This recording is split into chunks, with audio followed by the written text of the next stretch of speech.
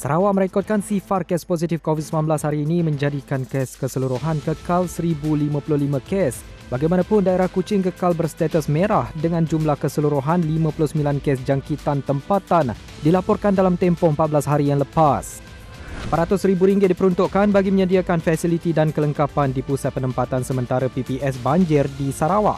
Selain itu, SOP turut diperketat termasuk tidak membenarkan aktiviti memasak di PPS bagi mengelakkan risiko jangkitan COVID-19. Raya Bumi Kenyalang sambut baik cadangan Ketua Menteri Datuk Patinggi Abang Jori Tun Openg untuk menubuhkan rangkaian telekomunikasi Sarawak. Perincian penuh di saluran 501 Astro Awani dan astroawani.com.